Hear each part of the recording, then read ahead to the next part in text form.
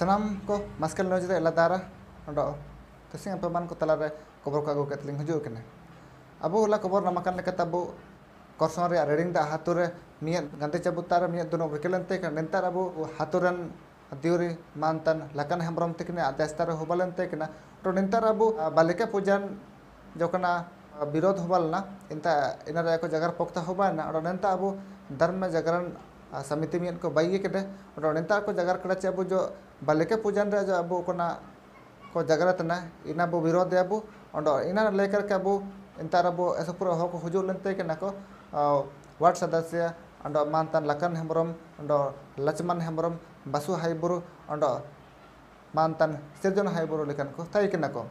अबु तलामला एसुपुरे हो एनकान एनकान घटना को हबाओतना इना मनते अब एक्टेरते दरकार हजूतन समय अब अब हनको सी अब चनार को चिलका एरपा सेसन चे को बुगिन से अब को मनते एक एसब पूरे चे एसब बड़े प्रयास होबाकना एनते पूरे का गाड़ी के अब अकिन जगह कड़ा अकिन मानते सृजन हाइब्रो तकिन एनते अकिने तो बार शब्द बो आयुमिया एनते पूरे का गाड़ी के दराबू सेनो करसवारा रेडिंग दा हाथोते कजिम सबको जोहार आज हम लोग रड़िंदा के ग्रामवासी सब इकट्ठित हुए हैं। विगत दिनों एक स्टेटमेंट आया था कि रिडिंदा में जो है, महानवमी के इस शिवरात्रि पर बालिका पूजन की आयोजन होने को है, जिसमें ग्रामीणों के साथ बिना बैठक किए हुए इस तरह का निर्णय लिया गया था इस रिडिंगदा गाँव के लिए। ये रिडिंगदा गाँव खरसों प्रखंड के अंतर्गत आता है, जिसमें ज़्यादातर आदिवासी हो, बहुल क्षेत्र है, और सेंट परसेंट अगर हम बात करें, सौ फ़ीसदी जो है, इस गाँव में आदिवासी हो, जनजाति के लोग ही निवास करते हैं।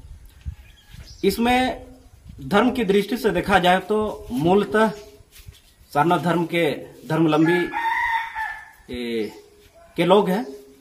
और इन लोग का मानना है कि, हम सभी का मानना है कि हमारे इस रिडिंगदा ग्राम में बालिका पूजन का जो आयोजन होने को है, ये मूल रूप से हिंदू धर्म के धर्मलंबी से संबंधित है। इसमें हिंदू से संबंधित पाठ कथा होगी।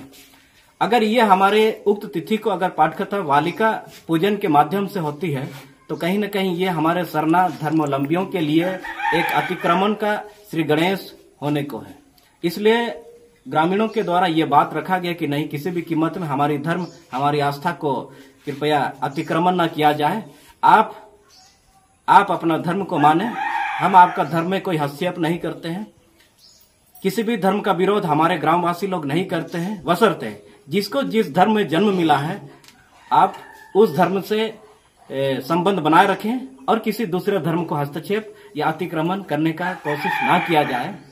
और इसी बात को लेकर के आज हमारे रिंदा गाँव में जो है, हम लोग सरना धर्म को जीवित रखें। जीवित रखने को लेकर इस बालिका पूजन का जो कार्यक्रम रखा गया है, जिसका घोर विरोध ग्राम सभा के द्वारा, ग्रामीणों के द्वारा किया गया है और किसी भी कीमत में इस पूजन को हम लोग सफल होने नहीं देंगे। अगर ये ज़बरदस्ती अगर इस गाँव में पूजा की जाती है तो ग्रामीणों के द्वारा प्रत्येक गाँव घर और प्रत्येक घर से अधिक से अधिक मेंबर्स उठ करके इस पूजन इस कार्यक्रम का घोर विरोध करेंगे और जो पूजन करेंगे उन लोग को भी घोर विरोध करना का करने का सामना करना पड़ेगा। इसीलिए सरना धर्म को बचाने में आप भी सहयोग करें और सरना धर्म था है और रहेगा। इसी बात के साथ मैं अपनी बातों को विराम रखता हूँ। जय सरना जय आदिवासी